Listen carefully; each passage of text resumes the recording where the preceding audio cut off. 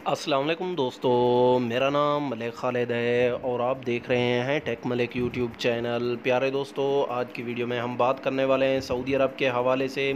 जी हाँ दोस्तों, Saudi Arabia में तीन ममालिक पर जो है इकामा टैक्स जो है माफ़ कर दिया गया है। वो कौन से तीन ममालिक हैं, इसी वीडियो के अंदर आप दोस्तों को जो है बताने वाले हैं। वीडियो अच्छा लगता है तो वीडियो को आपने लाइक करके अपने दोस्तों के साथ इस वीडियो को व्हाट्सएप, फेसबुक पर शेयर भी कर देना है, ताकि आपके और भी दोस्तों को पता चल सके।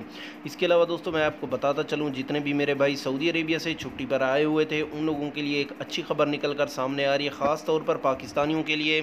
जितने भी पाकिस्तानी छुट्टी पर आए हुए थे, उनके लिए एक अच्छी गुड न्यूज़ ये है कि कल से उनके इकामे छुट्टी वीज़ा एक्सटेंड होना शुरू हो चुका है। अगर आपके पास तवक्लना अप्लीकेशन अपडेट नहीं है और जिन लोगों के पास तवक्लना ऐप थी और उनकी तवक्लना ऐप अब नहीं चल रही तो उनको क्या करना पड़ेगा? दोस्तों, मैं आपको बताता चलूँ, आपको कुछ भी नहीं करना।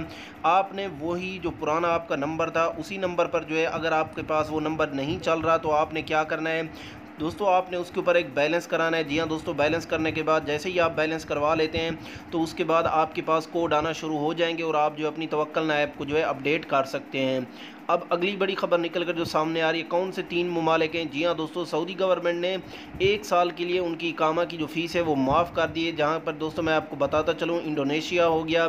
इसके अलावा दोस्तों और भी दो तीन ममालिक हैं, जैसे कि निजेरिया हो गया।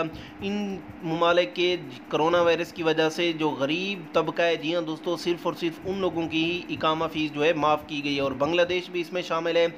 जिन लोगों के पास इतने अखराज नहीं होते और उनकी कंपनियाँ छोटी हैं। जी हाँ दोस्तों, और उनकी तनख्वाह भी इतनी ज़्यादा नहीं है कि सिर्फ़ और सिर्फ़ उन लोगों की ही एक साल की कामा की जो फ़ीस है। दोस्तों, वो माफ़ तो नहीं होती, लेकिन उनकी जो फ़ीस होती है, शाही ख़ानदान से जो है अदा की जाती है शाही ख़जाने से।